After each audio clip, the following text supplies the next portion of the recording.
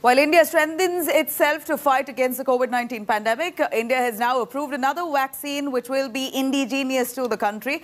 Corbevax. This is the vaccine that's now being developed by Bharat Biotech. This vaccine gets a nod in India and like I did mention, the first indigenously developed vaccine, a protein subunit vax. It's developed by the Hyderabad-based firm. Um, in fact, in the Hyderabad-based firm Biological E, made with receptor of SARS-CoV.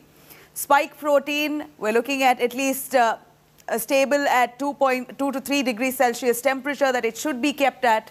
And of course, WHO nod for emergency use for adults that's been given to this vaccine. All right, now Corbevax vaccine. This gets a nod, which I did mention, India's first indigenously developed protein subunit vaccine. This is developed by Hyderabad-based firm Biological E. We're also looking at this vaccine now that will be an addition to India to help fight the COVID pandemic. It's made with receptor of SARS-CoV-2 spike protein and 30 crore doses has been purchased by the government so far. The government, of course, trying to ramp up production of vaccines.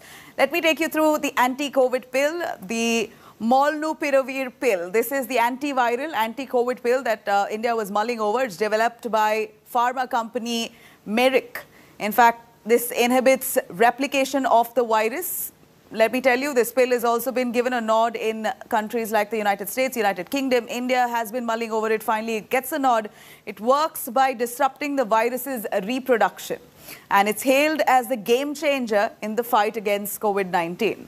We're also looking at this pill to be given within five days of the symptoms and it reduces risk of hospitalization or death. As per health experts, this pill is for vaccinated as well as unvaccinated individuals who want to use it.